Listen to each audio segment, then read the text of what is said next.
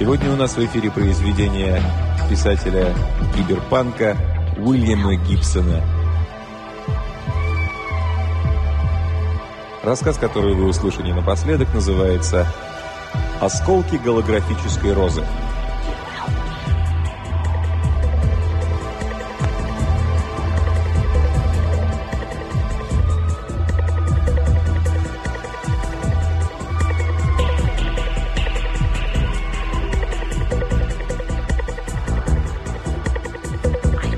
Тем летом Паркер мучила бессонница.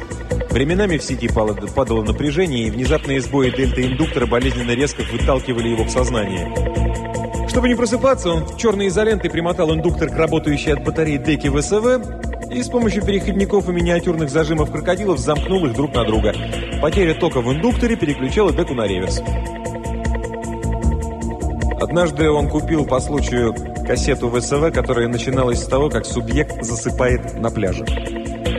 Записывал ее молодой, светловолосый йог с охватом зрения 20 на 20 невероятно острым восприятием красок. Парнишку отвезли на Барбадос с единственной целью – подремать и проделать утреннюю зарядку на мелком песке частного пляжа. Микрофиша в прозрачной ламинированной обложке кассеты поясняла, что одной лишь силой воли йог способен заставить себя пройти через альфу к дельте. Паркер, который уже два года не мог спать без индуктора, еще удивился тогда, как такое возможно. Ему лишь однажды удалось высидеть весь фильм, хотя теперь он уже знал каждое ощущение на протяжении пяти субъективных минут. Самым интересным фрагментом в последовательности кадров ему казался незначительный промах редактора в начале рутинных дыхательных упражнений. Беглый взгляд вправо, вдоль белого пляжа выхватывает фигура охранника, патрулирующего проволочную изгородь. Черный автомат переброшен через плечо. Пока Паркер спал, из энергетических систем города утекало электричество. Переход от дельты к дельта ВСВ, темное вторжение в чужую плоть, привычка смягчает шок, холодный песок под обнаженными плечами, в утреннем ветерке штанины потрепанных джинсов хлопают по голым коленям. Скоро парнишка окончательно проснется и примется за свою «Артхамацендре» что-то там чужими руками. Чужими руками Паркер стал нащупывать в темноте деку ВСВ.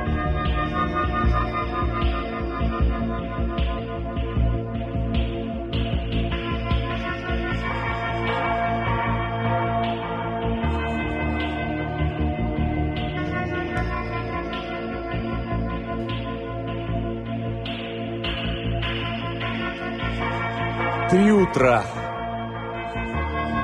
Сварить себе кофе, светя в чашку фонариком, пока наливаешь кипяток.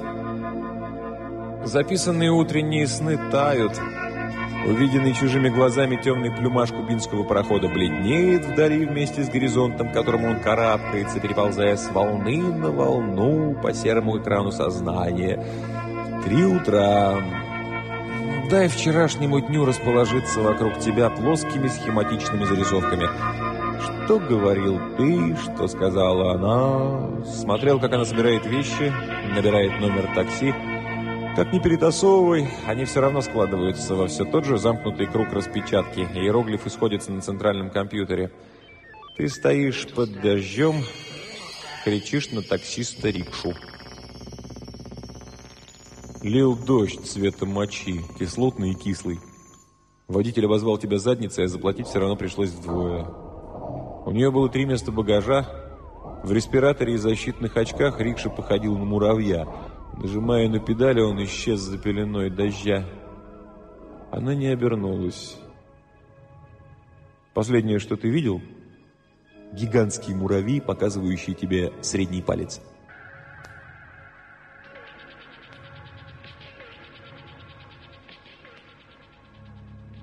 Первый в своей жизни аппарат ВСВ Паркер увидел в одном из техасских мусорных городков. Городок назывался «Джунгли Джуди». Паркер хорошо помнил массивную консоль, заключенную в оболочку из дешевого пластика под хром. За скормленную в прорезь 10-долларовую банкноту получаешь 5 минут гимнастики в невесомости на швейцарском орбитальном курорте. Качаешься себе по 20-метровым перигелием в обнимку с моделью журнала «Вок» 16 лет от роду.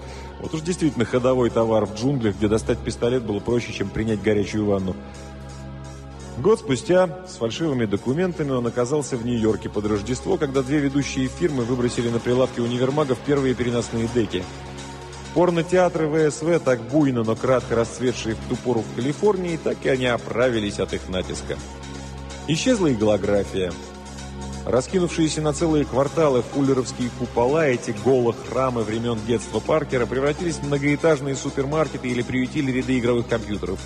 В их закоулках еще можно отыскать старые консоли под потускневшими неоновыми надписями «Вероятностное сенсорное восприятие», которое пульсирует сквозь голубую завесу сигаретного дыма. Теперь Паркеру 30, и он пишет покадровые сценарии для ВСВ-вещания, программируя движение глаза. Это человеческая видеокамера индустрии иллюзий. Частичное затемнение продолжается. В спальне Паркер колотит по клавишам на обтекаемой алюминиевой поверхности своего сенда и мастера сна. Навигационный огонек мигает, потом дека погружается во тьму. С чашкой кофе в руке Паркер тащится по ковру к шкафу, который она опустошила вчера. Луч фонарика ощупывает в поисках улик любви голые полки, находит сломанную застежку на кожаном ремешке, кассету ВСВ и открытку. На открытке отраженная в белом свете голограмма розы. У кухонной раковины он скармливает ремешок мусоропровода. Вялый в затемнении тот жалуется, но проглатывает и переваривает. Аккуратно держа за уголок, Паркер подносит голограмму к вращающимся челюстям. Железные зубы разрезают ламинированный пластик, мусоропровод обиженно скрежещет, и вот роза разлетается на тысячу осколков. Час спустя он сидит на неприбранной постели и курит. Ее кассета вставлена в деку, готова для просмотра. Пленки женщин обычно сбивают его с толку, но он не сомневается, что именно по этой причине он медлит сейчас запустить машину. Приблизительно четверть всех пользователей ВСВ испытывает некоторый дискомфорт, пытаясь ассимилировать субъективное тело противоположного пола. Звезды вещания ВСВ становятся в последнее время все более андрогинными, чтобы привлечь и эту часть аудитории. Но записи самой Анжелы никогда раньше не отпугивали его. А что, если она записала любовника? Нет, этого не может быть. Просто неизвестно, какого качества кассета.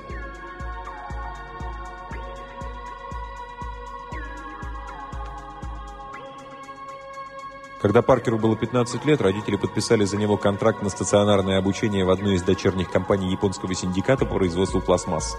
В то время он считал, что ему крупно повезло. Конкурс заявлений на обучение был просто огромен – Три года он прожил в казарме, распевал по утрам гимны компании, и раз в месяц ему, как правило, удавалось выбираться за заграждение центра на поиски девочек или голодрома.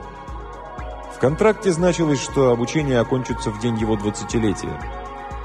Выдержи Паркер до конца, он приобрел бы право на полный статус служащего. За неделю до того, как ему исполнилось 19, с двумя украденными кредитными карточками и сменой одежды, он в последний раз вышел за ограду. В Калифорнию Паркер прибыл за три дня до падения диктатуры новых раскольников. В Сан-Франциско метались по улицам, стреляя друг в друга какие-то военизированные политические группировки. Все четыре временных правительства города провели такую эффективную работу по запасанию продовольствия, что почти ничего нельзя было достать. Последнюю ночь революции Паркер провел в подвале сгоревшего дома на окраине Таксона, занимаясь любовью с девчонкой из Нью-Джерси. Та объяснял нюансы своего гороскопа между приступами почти беззвучных рыданий, не имевших, впрочем, ничего общего с тем, что он говорил или делал. Много лет спустя он вдруг осознал, что понятия не имеет, что толкнуло его разорвать контракт.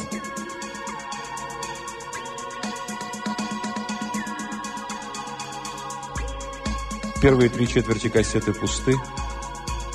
Нажимаешь клавишу, чтобы на скорости перемотать себя вперед сквозь статическую дымку стертой записи, где вкус и запах сливаются в единый канал. На аудио входе белый звук, не звук первичного темного океана. Продолжительное воздействие аудиовхода со стертой пленки может вызвать гипнотические галлюцинации.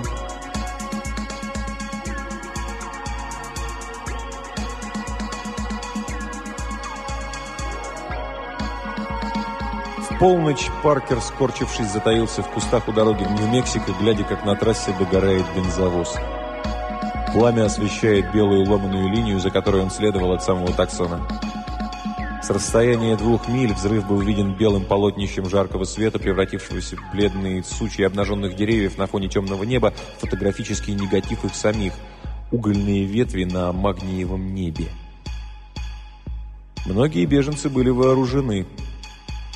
В кислотных дождях залива дымились кострами их мусорные города. Этим-то поселением и был обязан Техас тем шатким нейтралитетом, который ему удавалось сохранять среди расколовших побережье группировок. Городки сооружались из кусков фанеры и картона, листов раздувавшегося на ветру пластика и остовов мертвых автомобилей. Поселения носили идиотские фарсовые названия вроде «Город Прыгай» или «Сластена», Имевшиеся в них правительства лишь с большой натяжкой можно было назвать таковыми, как, впрочем, и их территории, которые непрестанно дрейфовали в переменчивых ветрах теневой экономики. Федеральные войска и войска штатов, которые посылались чтобы смести города-изгоев, редко находили хоть что-нибудь. Но после каждой такой экспедиции на перекличке несколько человек не отзывалось. Кто-то продавал свое оружие и сжег форму, другие же слишком близко к сердцу принимали контрабанду, которую их посылали искать. Через три месяца Паркер решил, что надо выбираться, но обеспечить безопасный проход через армейские кордоны мог только товар. Удача ему улыбнулась чисто случайно. Однажды вечером, огибая завесу сального кухонного дыма, низко висевшую над джунглями, он споткнулся и едва не упал на труп. Тело женщины лежало в русле пересохшего ручья. Мухи поднялись было сердитым облаком, но потом сели, не обращая на него внимания. На женщине была кожаная куртка, а по ночам Паркер отчаянно мерз. Покопавшись в свалке вдоль бывшего ручья, он отыскал длинную палку. В спине куртки прямо под левой лопаткой зияло аккуратное круглое отверстие размером с карандаш. Подкладка куртки, когда-то красная, теперь совершенно почернела, стала жесткой и блестящей от запекшейся крови. Подцепив куртку на палец, наконец палки, он отправился на поиски воды. Куртку Паркер так и не постирал. В левом кармане нашлась почти унция кокаина, аккуратно завернутая в полиэтилен и прозрачную хирургическую пленку, а в правом оказались 15 ампул мегацилина D и 10-дюймовый кнопочный нож с роговой рукоятью. Антибиотик стоил вдвое дороже кокаина. Нож он всадил в гнилую колоду, пропущенную сборщиками топлива из джунглей, и повесил на него куртку, которую стоило ему отойти, тут же окружили мухи. Той же ночью в баре с рифленой жестяной крышей, ожидая появления одного из юристов, которые прокладывали проходы через кордоны, он впервые в жизни опробовал модуль ВСВ. Аппарат был огромен, весь из неона и хрома, и владелец очень им гордился. Толстяк собственноручно помогал потрошить грузовик.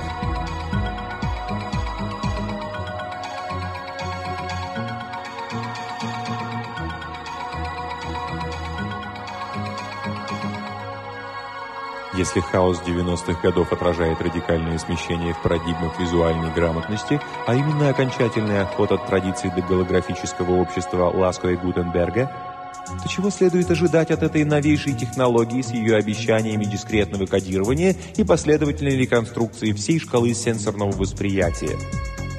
Роубук и Пирхл. Новейшая история Америки. Системный обзор.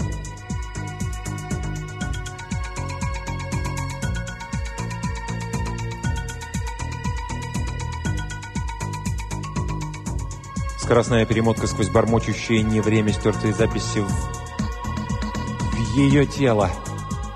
Солнце Европы, улицы незнакомого города, Афины, греческие буквы вывесок и запах пыли, и запах пыли смотреть ее глазами, думая о том, что эта женщина еще не встретила тебя, ты только-только выбрался из Техаса на серый монумент, на лошадей из камня, с которых взлетают вверх и кружат вокруг голуби. И статика охватывает любимое тело, стирает до серости и чистоты, волны белого звука разбиваются, а пляж которого нет. И пленка кончается.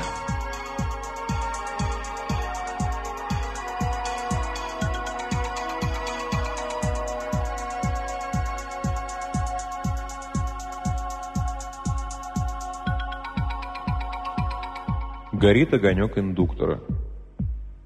Паркер лежит в темноте, вспоминая, как водопадом осколков рассыпалась голограмма розы. Это свойство присуще любой голограмме.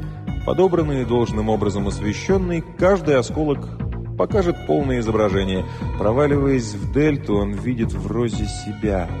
Каждый разрозненный фрагмент воспоминаний несет в себе целое, которого он никогда не знал.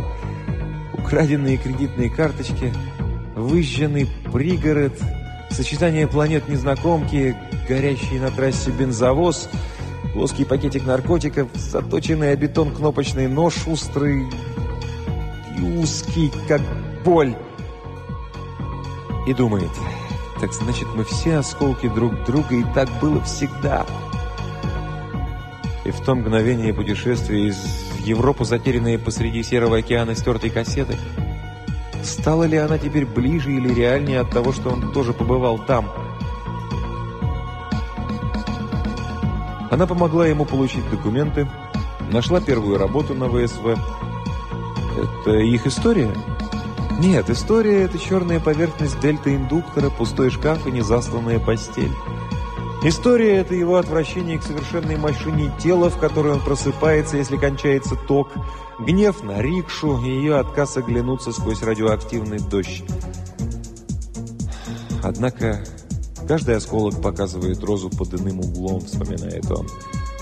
Но дельта накатывает, накрывает его с головой, прежде чем успевает спросить себя, что именно это значит –